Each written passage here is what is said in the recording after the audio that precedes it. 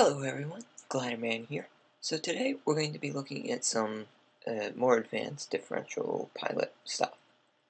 So you can see down here that we've got the pilot.rotate. Um, there's also a method that allows it to arc. Um, and the one that we'd be looking at is the one that has the radius that you can arc along and the angle uh, that you arc along with.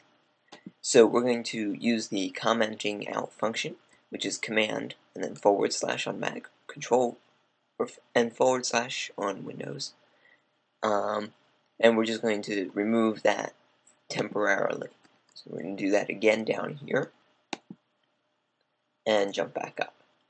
So we're going to do a pilot and then add a dot and then we're going to use the arc here and it wants a radius and an angle and the angle is in degrees not radians. So uh, this radius is in whatever units you used for your uh, wheels. Um, so in this case we used inches. We can say I have a radius of 12 inches um, which is the part from the center of the circle to the outside, not the diameter, which is all the way across. Now we're going to say that we want to rotate 90 degrees on that angle. Um, so this will not rotate to the right because how this can determine which way to arc is based off of the angle. If it is positive, then imagine my cursor is the robot um, and it's pointed up on the screen currently. Um, if this value over here is positive, the robot will arc to the left, or anti-clockwise. If the value is negative, it'll arc to the right, again, along that uh, radius that it has. And obviously if the angle is zero, then the robot won't do anything. If the radius is also zero, then the ro robot will just rotate in on it on top of itself in place. Um, and since this is a differential pilot, it can do that. So, as previously we had this one rotating to the right, we're going to make this one rotate to the right by making that a negative 90. Um, down here, we're going to do pilot, and then arc, and then we're going to do the 12 inch radius again, and then 90 for the angle.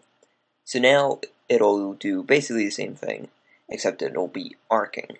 And you can change these values however you want. You can make this 45 degrees, um, 180, uh, you can change the radius, and uh, I'm not quite sure what it will do when the radius is less than half of the track width, or from like the center to the wheel edge. But it may properly compute that and actually spin around in a circle smaller than it actually should be able to spin in. Uh, but I can't remember what the result will do there.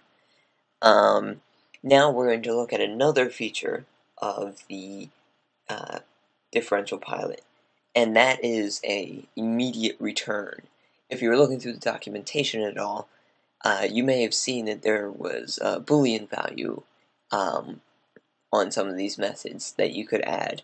Uh, and basically that says, set the robot to do this, and then jump back to my code. So, we could have it do an immediate return on this travel, and instead of waiting for the travel to complete and then delaying, we can just say return immediately by passing in true. So it'll start traveling 12 inches forward. It will still travel 12 inches forward. It'll just, instead of holding and blocking at this method, it'll jump down and start completing uh, the delay dot millisecond delay. And then once this finishes, it'll continue down. So if we had our period set to, let's just say, uh, one second, then uh, it's going to start to get a little bit messy where um, the travel will start to intersect with the uh, arc So we're just going to leave that up high. And so there's a couple places where it is useful to have the returning immediately. Um, let's just say you wanted to uh, start going forward a set distance, but you also wanted to check the ultrasonic sensor. You could do something there. Uh, but in our case, uh, we don't really have a need for it. And you can also do the false here, which is literally the same thing as that, um, because this doesn't return immediately.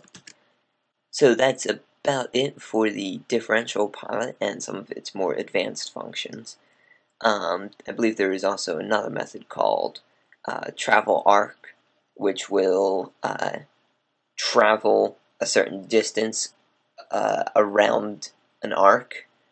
Um, however, that's not quite useful for our purposes here, where we're trying to rotate exactly 90 degrees.